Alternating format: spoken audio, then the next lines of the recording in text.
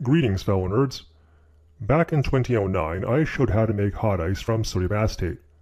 Most of my experiments at the time were on the small scale, so let's do it one more time on a much larger scale. Here's a nice big jar of liquid sodium acetate trihydrate, enough to stick my whole hand in. It's already been melted and chilled and is ready for use. Right now I'm coating my hand in sodium acetate to provide nucleation sites for initiating hot ice crystallization.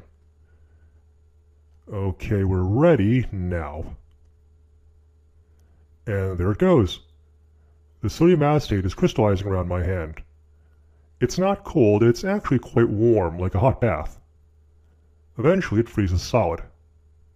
Don't worry, I'm not trapped. The sodium acetate is still fairly warm and is thus soft enough for me to pull my hand out. It has the consistency of ice cream. Thanks for watching. Please subscribe, like, and comment.